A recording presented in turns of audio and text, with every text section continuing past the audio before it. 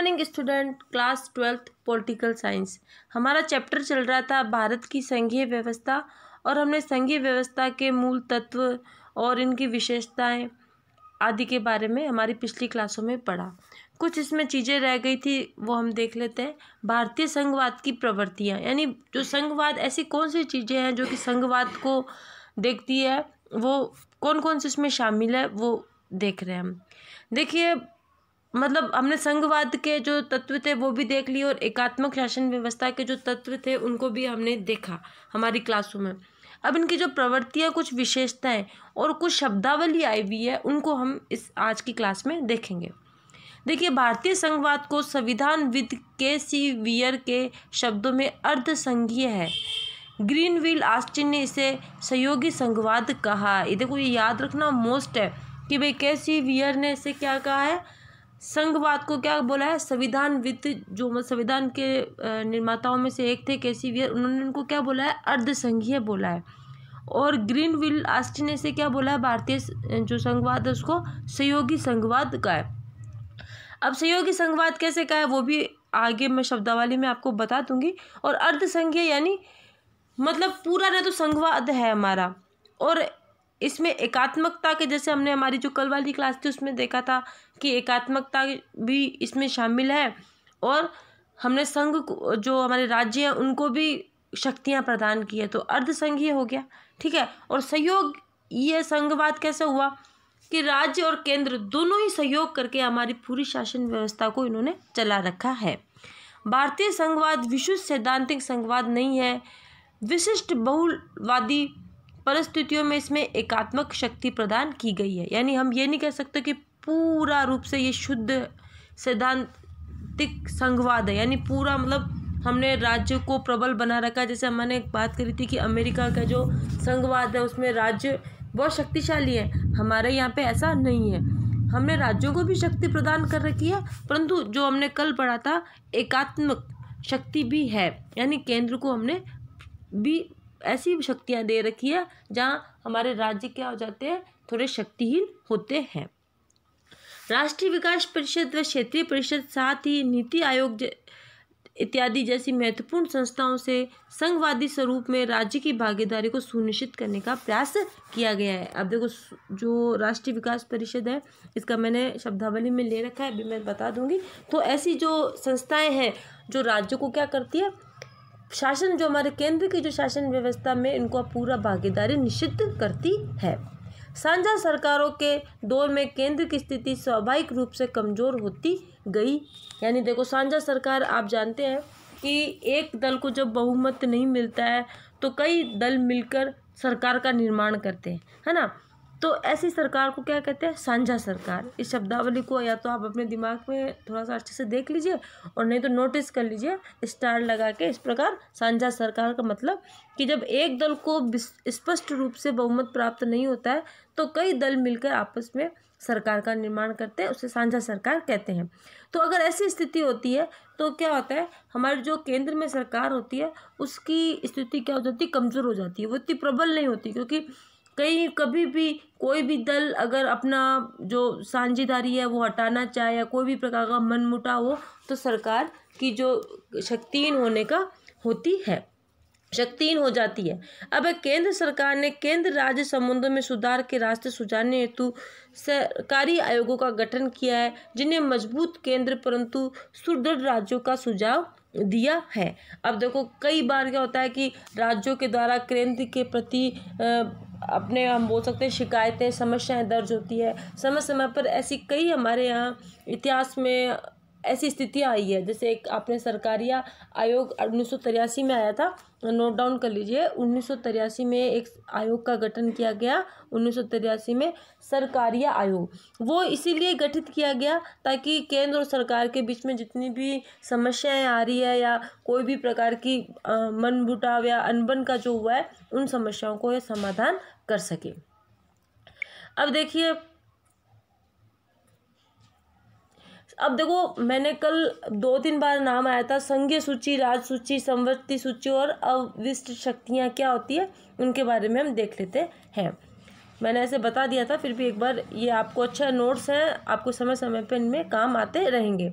संघीय सूची। भारतीय संविधान द्वारा प्राप्त वह सूची जिसमें वर्णित विषयों पर कानून बनाने का अधिकार केवल केंद्र सरकार को होता है, संघ सूची में प्रतिरक्षा, विदेशी मामले, बैंकिंग, संचार व मुद्रा आदि राष्ट्रीय महत्व विषय सम्मिलित हैं। देखिए, ऐसे विषय जिस पे कानून बनाने का अधिकार सिर्फ़ किसको है? केंद्र को है। कल बात कर चुके थे। अब इसमें कौन कौन से मामले, जैसे प्रतिरक्षा, विदेशी, कोई भी विदेशी आक्रमण, जैसे अब देखिए, हमारा जैसलमेर में अंतर्राष्ट्रीय बॉर्डर है है ना? अंतर्राष्ट्रीय बॉर्डर है क्योंकि पाकिस्तान इधर कौन है? पाकिस्तान है और इधर जैसलमेर है। बीकानेर को भी छू रहा है, थोड़ा अंतर्राष्ट्रीय बॉर्डर है ना? और गंगानगर को भी छूता है, बाड़मेर को भी छूता है। तो वहाँ पे पूरी जो अंतर्राष्ट्रीय सीमा है, एक हज़ार सत्ताईस की। किलोमीटर की।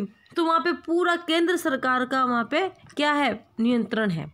तो ऐसे मामले, अब देखो बैंकिंग में कौन सी साख व्यवस्था है? आपने टेंथ क्लास में पढ़ा होगा, शाख आरबीसी के द्वारा साख निर्धारित की जाती है। तो ये सब केंद्र के होते हैं। राज्य इस प्रकार की कोई भी व्यवस्था नहीं करता है। मुद्रा, पैसों से संबंधित, जैसे अभी अपने हुआ था आपने देखा था कि 500 के नोट बंद हो गए थे, फिर 2000 के शुरू हुए थे। इस प्रकार के हुई थी ना व्यवस्था? तो सब केंद्र ही कर सकता है, राज्य में इस प्रकार की कोई भी कार्य नहीं कर सकता है। अब राज्य सूची में कौन से विषय है? भारतीय संविधान द्वारा प्रदत्त वह सूची जिसमें वर्णित विषयों पर कानून बनाने का अधिकार केवल राज्य सरकार को होता है। राज्य सूची में जैसे पुलिस, व्यापार, वाणिज्य, कृषि, सिंचाई आदि प्रांतीय व स्थानीय महत्व के विषय सम्मिलित हैं। यानी प्रांत के, यानी हमारे जैसे अब राजस्थान राज्य की सरकार है, जैसे अभी गहलोत सरकार है तो वो पुलिस पे भी कोई कानून बना सकती है, व्यापार संबंधी कोई भी, है ना, आयात निर्यात पे या कृषि, सिंचाई आदि संबंधी महत्व को जहाँ सब सुविधा मिल रही है जनता को कोई दिक्कत हो रही है तो उससे संबंधित, महत्व से संबंधित वो कानून बना सकती है। अब संवर्ती सूची संवर्ती सूची जैसे मैंने आपको बताया था कि भारतीय संविधान द्वारा प्रदत्त वह सूची जिसमें वर्णित विषयों पर केंद्र व राज्य सरकार ये दोनों कानून बना सकते हैं। समवर्ती सूची में शिक्षा, वन, विवाह मजदूर संघ आदि विषय सम्मिलित होते हैं। जैसे मैंने कल आपको बताया शिक्षा शिक्षा एक ऐसा विषय है जिस पर केंद्र भी अपने कानून बना सकती है और राज्य भी अपने कानून बना सकती है। अब वन विहा वन जैसे हमारे यहाँ पे कहाँ पे आ, हमने इलेवंथ क्लास में पढ़ा था जोग्राफी में अगर आपको पता है तो कि भाई कितने वनों पे कटाई की जा सकती है कितने वन संरक्षण में रहेंगे है ना? तो ये सब कानून राज्य सरकार भी बना सकती है और केंद्र सरकार भी बना सकती है।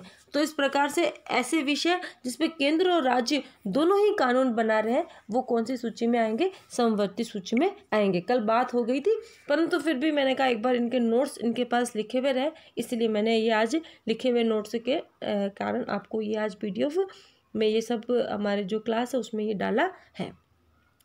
अब देखिए, अब अवशिष्ट सूची, ये भी एक बात आई थी कि अवशिष्ट सूची किसे कहते हैं? सत्ता के विभाजन में जिन विषयों को सम्मिलित नहीं किया जा, गया है, वे अवशिष्ट सूची में सम्मिलित हैं। हमारे संविधान के अनुसार अवशिष्ट सूची में विषय केंद्र सरकार के अधिकार क्षेत्र में आते हैं। तो कई विषय ऐसे होते हैं, जैसे न तो राज्य सूची में आए, न संवत्ति सूची में आए, न संघ सूची में आए और कुछ विषयों पर सत्ता को लेके या कोई भी हमारे सामने कोई टॉपिक या कोई विषय आता है तो उस पर अधिकार कुछ भी निर्णय लेने का या कानून बनाने का अधिकार किसको होता है? सिर्फ़ केंद्र का होता है। ठीक है ना? तो ऐसे विषय हम अवशिष्ट सूची में डाले जाते हैं। ठीक है ना? तो इन चीज़ जो तीन सूची आई थी, राज्य सूची संघ सूची, संवर्ती सूची और एक अवशिष्ट जो सूची होती है, ये सूचियाँ तो दी नहीं है, परंतु उसको भी शामिल किया गया तो चार सूचियाँ, इनको आप अच्छे से याद रखिएगा कि इसमें क्या क्या है। अब है एकल नागरिकता बार बार मैं बोल रही थी आपको कल वाली क्लास में कि हम गुजरात के, महाराष्ट्र के या राजस्थान के नागरिक नहीं हैं, हम भारत के नागरिक हैं। तो एकल नागरिकता क्या होती है? हम कई बार हमारी क्लासों में इसके बारे में बात कर चुके हैं, शायद मैंने आपको भेजा भी होगा।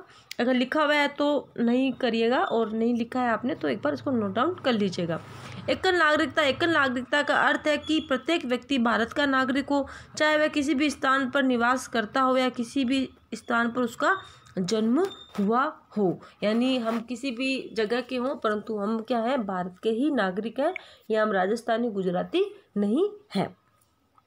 अब राष्ट्रीय विकास परिषद, जैसे भी अभी हमारे पहले आया था कि राष्ट्रीय विकास परिषद अंतर राज्य परिषद और क्षेत्रीय परिषद नीति आयोग, ये क्या करते हैं? कि राज्यों को प्रबल बना रहे हैं। राज्य की भागीदारी दे रहे हैं केंद्र की सरकार में। तो वो देख लेते हैं हम एक बार। एक बार आपके है एक पूरा चैप्टर उसमें इन सब का भी वर्णन है विस्तृत रूप से। नाम आया है, इसलिए हम इसके बारे में एक बार देख लेते हैं। उन्नीस में स्थापित संस्था जिसका उद्देश्य राज्यों को योजनाओं के निर्माण में सहभागी बनाना है।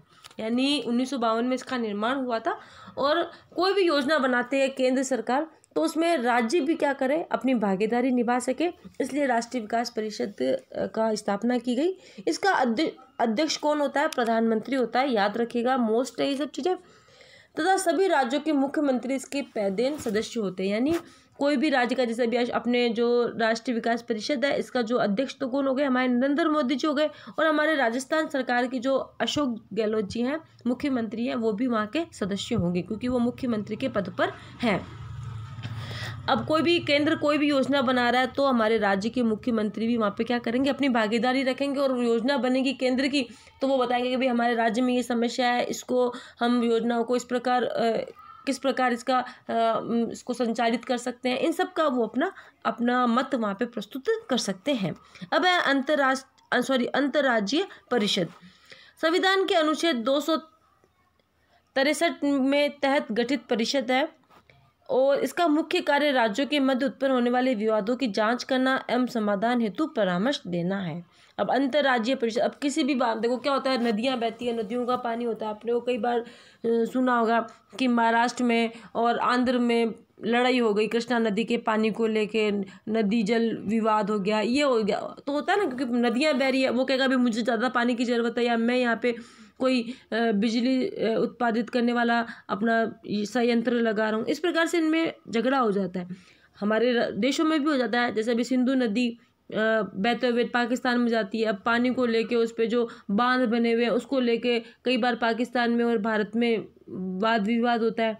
अब देखिए चीन की जो नदियाँ भारत में आ रही है है ना? उनमें आपस में लेके विवाद हो जाता है।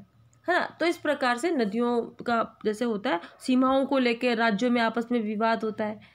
तो इस प्रकार से, इस प्रकार का कोई विवाद उत्पन्न होता है तो अंतर्राज्यीय परिषद जो है, वो इन विवादों को समाप्त करने में कार्य करती है। अब है क्षेत्रीय परिषद। इसका गठन राष्ट्रपति द्वारा किया जाता है। इसकी स्थापना का मुख्य उद्देश्य जनता में भावात्मक एकता उत्पन्न करना तथा क्षेत्र के एकीकृत व संघीय विकास हेतु कार्य करना है। राष्ट्रपति द्वारा इसका गठन किया गया है और उसका जो मूल उद्देश्य है वो क्या है? जनता में भावात्मक, भाई हमारा पूरा जो क्षेत्र को लेकर सारी जनता एक रूप से भावात्मक रूप से जुड़ी हुई रहे और उसका विकास करने तो वहाँ पे कई योजनाओं का निर्माण किया जाता है। अब नीति आयोग, केंद्र सरकार द्वारा एक जनवरी 2015 को योजना आयोग के स्थान पर नीति आयोग की स्थापना की गई। पहले कौन थी? योजना आयोग था। आपको जो पंचवर्षीय योजनाएँ बनती ना, उसमें योजना आयोग का एक बनी हुई थी। उसकी जगह जो हमारे नरेंद्र मोदी जी आए, उन्होंने नीति आयोग की स्थापना की है। ये सरकार के थिंक टैंक के रूप में कार्य करती है। यानी सरकार जो विचार कर रही है, योजनाएँ बना रही है, क्योंकि देखो तो पाँच साल के लिए सरकार आती है। अब पाँच साल में सरकार किस किस प्रकार की योजना बनाएगी, किस किस चीज़ को उन्होंने मेन बिंदु बनाया कि इस मैं पाँच साल के जैसे हमारी जब सरकार अपना चुनाव लड़ती है कोई भी तो कोई भी जो हमारा दल है वो बताता है कि भाई अगर हमारी सरकार आएगी तो हम ये कार्य करेंगे वो कार्य करेंगे जैसे अभी हमारे नरेंद्र मोदी जी आए तो उन्होंने कहा था मैं तीन सौ सत्तर खत्म कर दूँगा है ना जनसंख्या नियंत्रण बिल लाऊँगा। वो अपना पहले एक भेज देते हैं। उसी प्रकार से फिर सरकार बनने के बाद पाँच साल तक वो क्या क्या कार्य करेगी, उसका क्या मेन उद्देश्य है, कितने परसेंट वो अपने उद्देश्य की पूर्ति करेगी, वो सब उसमें लिखा जाता है, लेखा जोखा होता है। तो पहले योजना आयोग थी और 2015 में वो नीति आयोग बना। अब बार बार नाम आया एकात्मक शासन व्यवस्था तो वो क्या है, देखिए। ये शासन व्यवस्था जिसमें संविधान द्वारा राज्य की संपूर्ण शासन शक्ति केंद्र सरकार में निहित होती है, एकात्मक शासन व्यवस्था कहलाती है। कल बार, कई बार बात हो चुकी है कि संविधान की संपूर्ण शक्ति किसके पास है? केंद्र के पास है। तो वो शासन व्यवस्था क्या कहलाएगी? एकात्मक शासन व्यवस्था कहलाएगी। अब देखिए, कुछ और है। सीनेट एक आपके इस लेसन में नाम आया। सीनेट क्या है? जो सीनेट है, वो अमेरिका की व्यवस्थापिका का द्वितीय सदन है। जैसे हमारे है ना, लोकसभा, राज्यसभा तो यहाँ पे द्वितीय सदन कौन सा है? अमेरिका का सीनेट है। अब देखो, सहयोगवादी संघवाद, जैसे अभी पहले आया था, साझा सरकारें आई थी ना, वैसे सहयोगवादी संघवाद क्या होता है? वो भी नाम आया था कि ऐसी संघीय शासन व्यवस्था जिसमें संघ और राज्य सरकार के मध्य सहयोग की भावना व्याप्त होती है। अभी हमारा, देखो, हमारे है ना, हमारे केंद्र और राज्य दोनों मिलके कार्य कर रहे हैं। तो दोनों में सहयोग की भावना है। इसमें प्रतिद्वंदी संघर्ष और दमन के स्थान पर सहयोग, समन्वय और अनुनयन पर बल दिया जाता है। ग्रीन व्हील आस्टिन नामक विद्वान विद्वान ने भारतीय संघवाद को सहयोगी संघवाद कहा है, क्योंकि हमारे यहाँ देखिए, केंद्र और राज्य दोनों ही सहयोग की भावनाओं पे, यहाँ पे कोई भी प्रकार का संघर्ष और दमन होता है थोड़ा थोड़ा होता है, संघर्ष होता है, कोई भी विवाद पर वो खत्म हो जाता है। परंतु आज केंद्र और राज्य तभी हमारा अखंड भारत बना हुआ है, क्योंकि दोनों कितना भी बीच में वाद विवाद हो, परंतु वह एक दूसरे के सहयोग के साथ जुड़ के और फिर पूरी हमारे भारत की शासन व्यवस्था को बनाए रखने का कार्य करते हैं। तो आज हमने हमारे जो लेसन था, संघवाद की जो आधारभूत तत्व है, वो उसके बारे में काफ़ी जानकारी लिए आज की क्लास में इतना ही, और बात हम हमारी अगली क्लास में करेंगे। तब तक के लिए धन्यवाद।